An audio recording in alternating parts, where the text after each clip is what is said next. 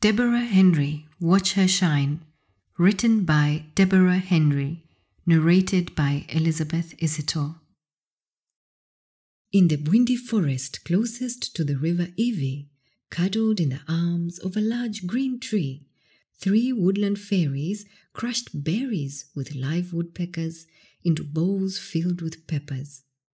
They eyed the lonely Princess Dembe, the sole heir to the throne in the beloved land, as she played about in the forest. Every subject in the land called her Businje, except her dad, King Rumba, who fondly called her Dembe, because she was born on the day he met the king of Buganda Kingdom to sign a peace agreement between the two kingdoms. These fairies loved the princess so much and always followed her when she wandered out of the palace garden into the thick forest. Many a time they helped her get out of trouble with Mother Nature. Once, while playing in a pond, she almost got eaten by a very big crocodile. Luckily, the fairies alerted a mountain gorilla who swept her up out of the pond and carried her back to the palace.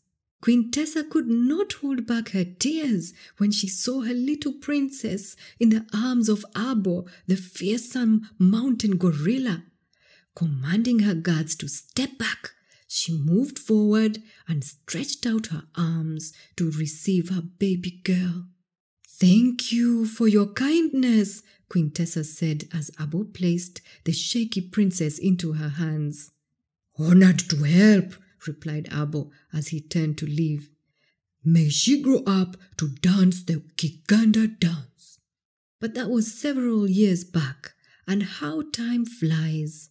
Here she was tending the raspberry bushes she'd planted with her mother in the royal garden, placing bowls of their favorite fruit around the tombstone where her dear mother rests in peace. Dembe sang quietly, the more we get together, together, together, the happier we'll be. Then she ran towards the rushing river, tears streaming down her cheeks. In one of the huge trees nearby were the three little fairies, still keeping their eyes on the sad princess as they prepared their potions. This was their special tree house where they came up with special potions for the king's medicine men they were putting together a special potion that keeps away tormenting spirits, and Bertha, the oldest fairy, could hardly wait to deliver it. Get a move on, said Bertha to the two younger fairies as she stuffed the potion into a pouch tied round her waist. Yippee! cried out Wanda, the youngest fairy, as she flapped her wings in excitement and floated across the room. No dilly dallying, Wanda. We're off! Miranda, the middle aged fairy, opened the wooden door and flew out. Hands by her hips, Bertha squeezed out too. Wanda kept on flying around the room until she heard Bertha call at her once again. She quickly flew out the open door, flitting into lavender leaves which she sent tumbling to the forest floor. King Roomba also dearly missed his treasured Queen Tessa. One week later, he was still crestfallen and had not smoked his pipe since that terrible day, the day he sent out his royal servants to announce her death. Indeed, the entire beloved land was still mourning, with the exception of Prince Damien, who was laughing as he played with his pigeons behind the wall. The king, with his wild dog Bika, by his side warned Prince Damien and his army not to hurt the princess, saying, Those who prick the princess will feel Bika's claws. He gazed at Dembe, wiping away her tears, her eyes shining bright in the yellow sun like those of a mountain gorilla. Look at her glowing in the sun, he said to himself. Oh, how my heart melts for her. Watch her shine. She will be king. She will sit on the throne of her ancestors after me. From their perch by the river, the fairies saw Prince Damien sitting on a dark wall.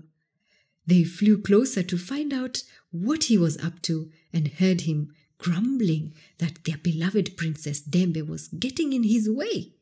I swear on all my land that I will either marry Dembe or do away with her, said Prince Damien.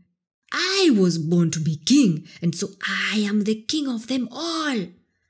The fairies gasped as they quickly held each other's hand and shook Bertha's pouch, which released a misty potion.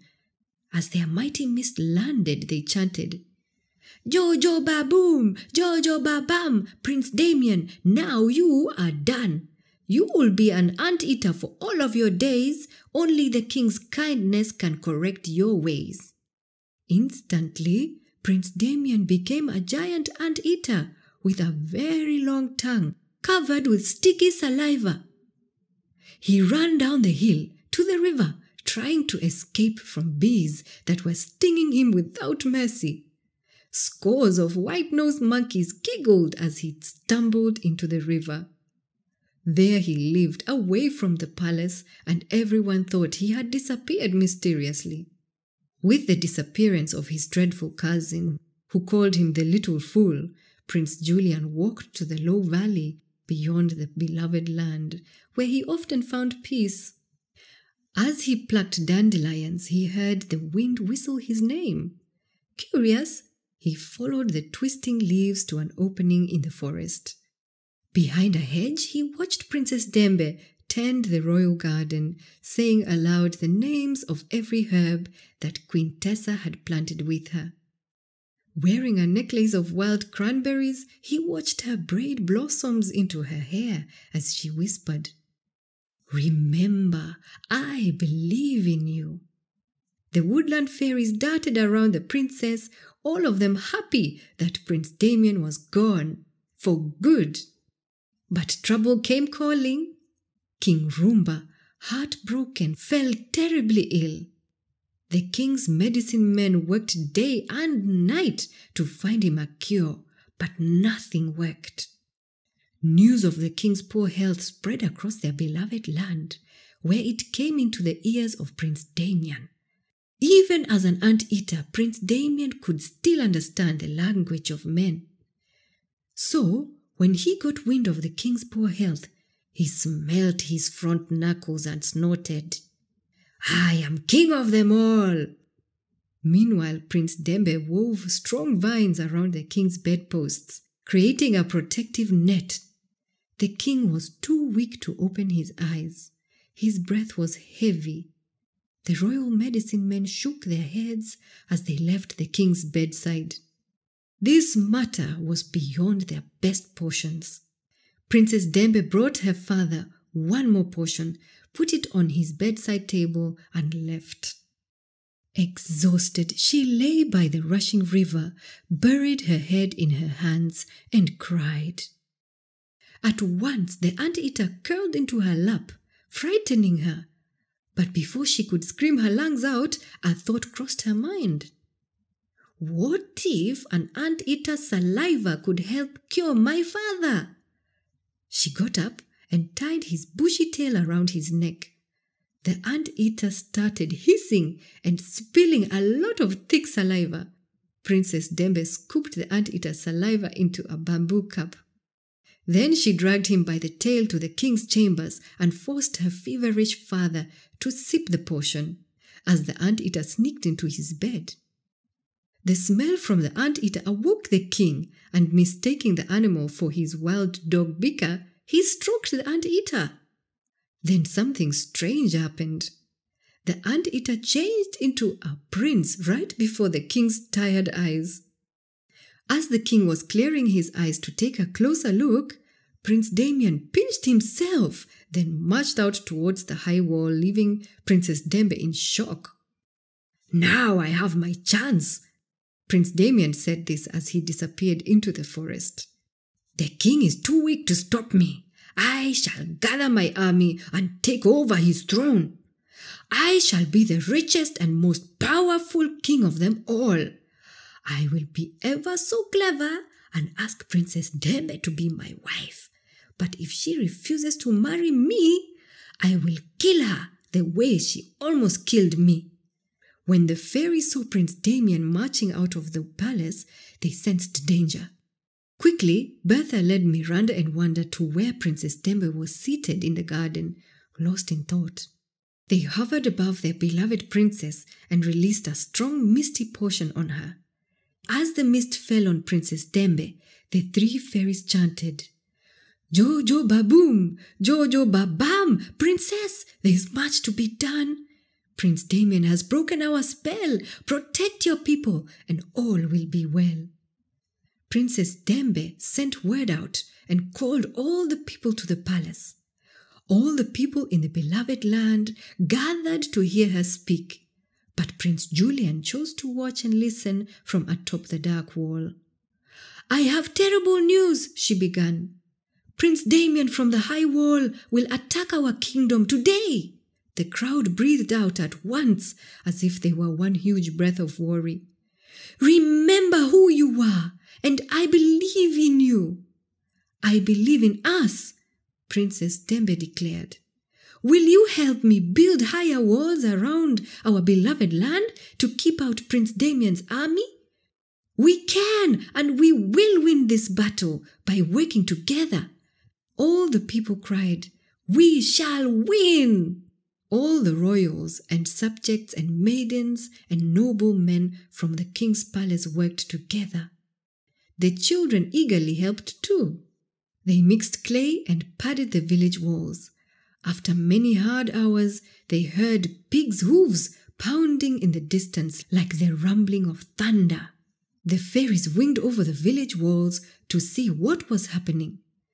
They watched Prince Damien lead charging troops down the winding cliff. Clasping each other's hands, the fairies zoomed, pouring fairy dust on the wooden bridge which Prince Damien's soldiers were storming. Then they winged away and watched in silence.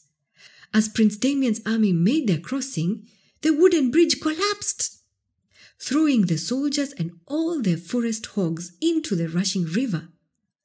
Many of the soldiers were lost in the raging river, but Prince Damien struggled out of the water and charged on toward the palace. I will do away with you, King Roomba! Prince Damien shrieked, drawing his sword. When Prince Julian saw the invading army drawing closer, he jumped off the wall and raced through the enchanted forest.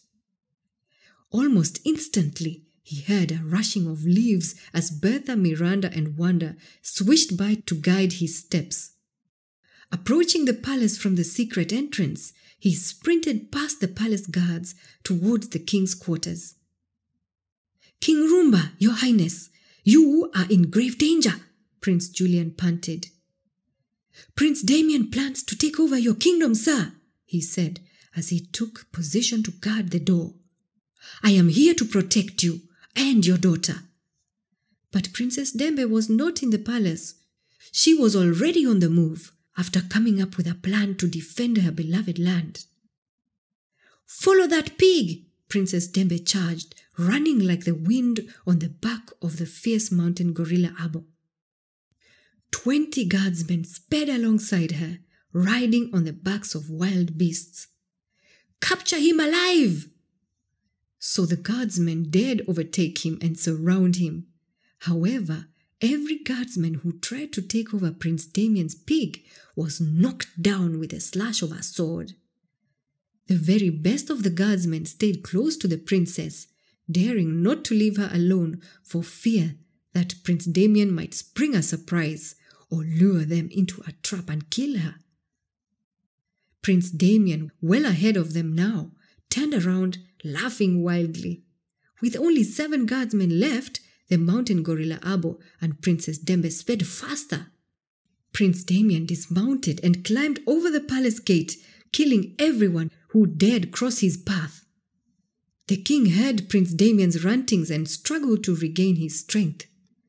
Prince Damien sped towards the king's quarters, his sword held tightly in his right hand, ready to strike. Just then, Princess Dembe and the seven guardsmen sprinted into the palace. Hearing them draw closer, Prince Damien pushed Prince Julian out of the doorway and stepped into the royal quarters. Then, fast as he could think, strong, rope like vines entwined Prince Damien's ankles and pulled him up into a fishnet. Bertha, Miranda, and Wanda, the three woodland fairies, shook their hips, chanting, Jojo Baboom, Jojo Babam, Prince Damien, now you are done. You shall wear clothes befitting a fool, no king's kindness, no kingdom to rule. As they giggled, they blew a blue like fairy mist towards Prince Damien. I demand you put me down, he said, dangling upside down. Do you think I would let you hurt my father? asked Princess Dembe, entering the chambers. I wasn't going to harm your father, my dear princess, he stammered. I, I merely was coming to ask for your hand in marriage, he coughed, dropping his sword and dagger to the ground with two weak clinks. Bring him to the dungeon, Princess Dembe ordered. Won't you reconsider? he screamed as the princess cut the vines. He dropped to the floor with a heavy thud and desperately tried to untangle himself. Why don't we settle this over a nice meal? I could make you a very interesting offer, he said. You shall become the most powerful princess in history. If you marry me, lead this fool away, ordered the princess. Tell them who I am, Prince Damien barked at Prince Julian, pleading all the way to the dungeon. Father, she called out as she touched his forehead. You saved me, King Roomba said, hugging her. Prince Julian bowed and left father and daughter to rejoice. After the dust had settled, Princess Dembe sent word out to all the people, inviting them to the palace.